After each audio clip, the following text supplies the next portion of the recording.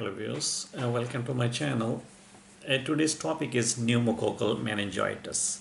Uh, but before starting, I would like to request you to like, subscribe and share these videos to support this channel. And if you need more information about any disease or any medical condition, uh, you can visit my website which is www.diseasesandtreatment.com. Now come to the topic, what is pneumococcal meningitis? You know, meningitis is an infection and the inflammation of the meninges and uh, meninges are the membranes uh, that cover your spinal cord and your brain. And uh, meningitis can be caused by bacteria it can be caused by uh, viruses it can be caused by parasites it can be caused by fungi. So the most forms of the meningitis are viral. And uh, the pneumococcal meningitis is a bacterial form of meningitis and it's a serious disease that can cause death even with proper treatment. So it's an emergency. And you should see your doctor right away if you suspect you may have pneumococcal meningitis. Uh, you know, when this bacteria spreads to the meninges or uh, its surroundings, uh, fluids, you know, this infection is very dangerous. And even with the speedy diagnosis and treatment, one in five people will develop this condition, they will die. Uh, the next thing is about the symptoms. You know, the people typically develop the symptoms one to three days after they are exposed to the bacteria. And in some cases, the symptoms may develop sooner or maybe later than that. And the symptoms uh, uh, usually come on rapidly, and an infected person may develop chest pain, he may develop chills, confusion, cough, high fever, uh, vomiting and weakness, or headache and cough. And other possible symptoms may include agitation, may include irritability, rapid breathing, and stiff neck. And in, in infants, uh, the soft spot on the head, which is called as the fontanelle, uh, they may bulge uh, outward. The pneumococcal meningitis can occur when the Streptococcus pneumonia bacteria invade the bloodstream, cross the blood-brain barrier and multiply within the fluid surrounding the spine and the brain. And uh, these bacteria don't always cause meningitis. More commonly, they may cause uh, other illnesses such as uh, like uh, ear infections, maybe pneumonia, maybe sinus infections, and the bacteria um, uh, which is uh, uh, bacteremia, in fact, which is the blood infection, you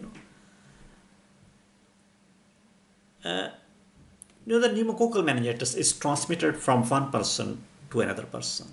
And the bacteria are spread through direct contact with the tiny droplets from the infected person's mouth, from the throat, or uh, nose maybe, uh, the example is like if someone with the infection coughs and sneezes near you, you may contact this disease.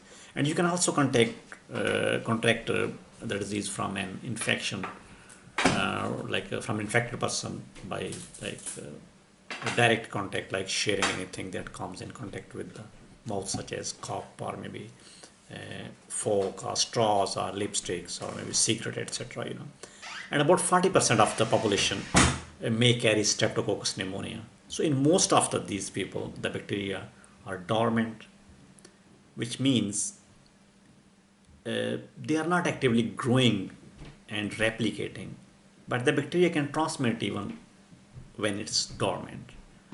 So living in the places where the large groups of the people tend to live, such as uh, uh, dormitories, they can increase the risk of infection. Now, pneumococcal meningitis is generally diagnosed through the spinal tap. And uh, the spinal tap involves your doctor collecting a sample of the fluid in your spine.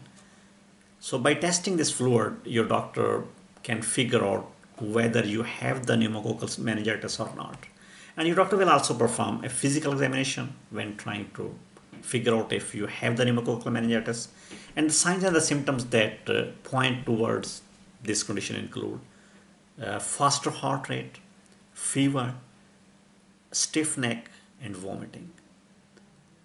Uh, once diagnosed, then the treatment options uh, you will immediately start the treatment, and you need to be admitted to the hospital, and then you will be treated with the antibiotics.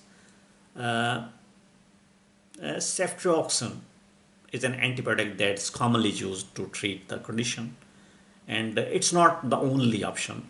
Uh, it's often used along with other antibiotics, and other possible antibiotics for the bacterial meningitis include uh, vancomycin, uh, ampicillin, um, uh, ceftriaxone, or uh, uh, like chloramphenicol or maybe penicillin, you know, also maybe combination.